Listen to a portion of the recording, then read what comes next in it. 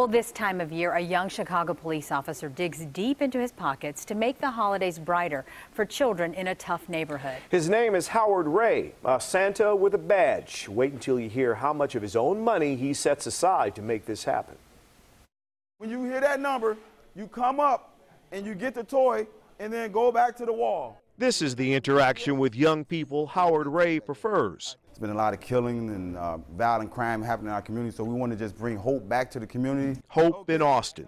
From February until November, 450. Ray, a Chicago police officer, sets aside $300 from each paycheck to buy toys.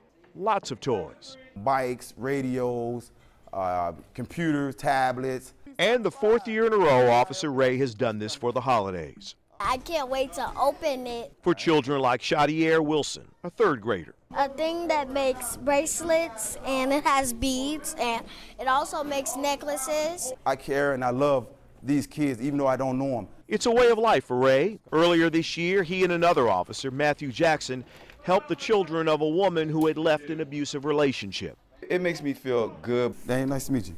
Officer Howard Ray, spreading good cheer in Austin and beyond. The neighborhood needs it. They really need it because there's a lot of low-income children in this area, and a lot of parents don't work, and, and this neighborhood really needs it. If uh, citizens like myself could save some money out of their paycheck and let it build up, they can do a lot uh, for the community. Officer Ray is looking for technical help to build a crime prevention app that would connect the community with services. What a great story. Good mm-hmm. for him.